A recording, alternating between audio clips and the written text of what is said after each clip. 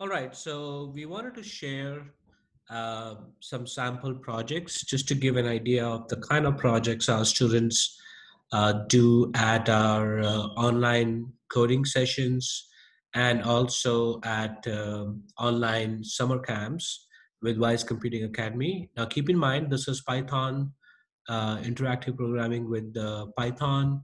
Um, this is for students in fourth grade and above and these are really the the real projects that our students have done. So starting from uh, making the life of a contact tracer easy to determine if a person was infected with covid-19 or not. This is a, uh, sort of a, a flow chart that uh, wall street journal had uh, put up in their paper. And our uh, learners what they did was they converted that into a python code so if you run this code, it'll ask you a bunch of questions, and if you answer, um, it will determine whether you know what kind of risk level a person is is at, and it follows this flow chart that the Wall Street Journal had come up with in in, in their uh, newspaper. Another good example is um, this animated robot. Uh, as you can see, this is a animated robot that's using uh, various different uh, coding principles like uh, functions with parameters, uh, lists, and things like that um, to basically add the animation to not just create um, really cool looking um, uh, projects, but also add animation to them.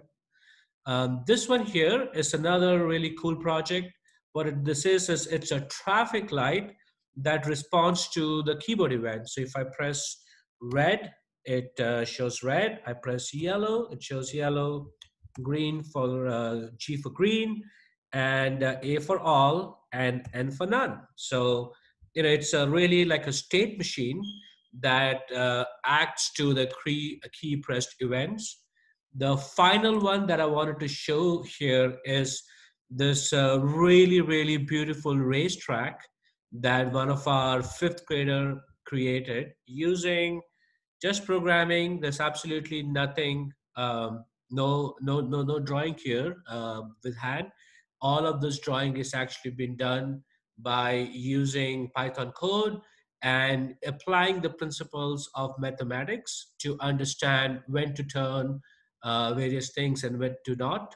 And I'm going to let, let this finish so you can see, get an idea of what kind of uh, things that this particular child had uh, had added. So as you can see, these turtles are moving along uh, with the track. Uh, so you know one has to determine what angle do they have to move, and they're all moving together. So they're moving in parallel, and um, they're moving at different uh, different angles and different uh, directions.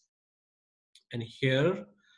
Um, they are about to finish. Again, they move together so it's a demonstration of how each turtle can not just move by itself, but also move together and still stay inside their own track and basically finish the race.